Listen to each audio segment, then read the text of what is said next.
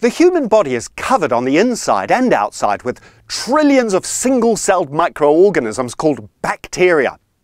Current estimates are that there are at least as many of them on and in us as there are human cells in the body. The cell of a typical bacterium, called a prokaryotic cell, is different in some important respects from a cell of our own body, called a eukaryotic cell.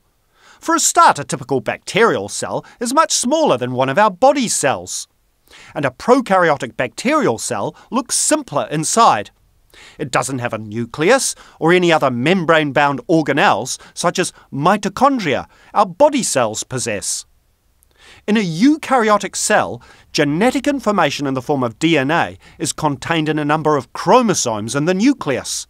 But in a typical bacterial cell, there's just one double stranded loop of DNA floating around in the cell's cytoplasm.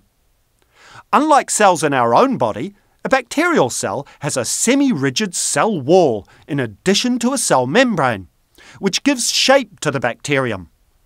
Typical shapes are spheres, called cocci, rods, called bacilli, spirals, called spirilla, corkscrew-shaped bacteria called spirochaetes, and comma-shaped bacteria called vibrio. Even though bacteria are unicellular creatures, they can clump together in pairs, chains, or clusters. Don't go thinking all bacteria are harmful. Many bacteria are harmless or even beneficial to us. For example, bacteria in our gut help us digest food.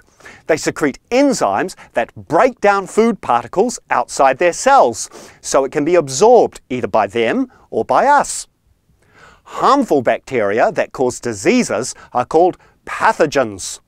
With the discovery of a group of medicines called antibiotics, such as penicillin, that kill bacteria, it was thought we had the key to combating bacterial infections such as pneumonia, tuberculosis and sepsis. However, the spread of antibiotic resistant strains of bacteria has made this job much harder. Part of the trouble is that some bacteria contain additional short loops of DNA called plasmids that allow the bacteria to make proteins that protect them from an antibiotic. These bacteria can share this plasmid with other bacteria, passing on antibiotic resistance to them. On top of this, in the right conditions, bacteria have the potential to multiply very quickly.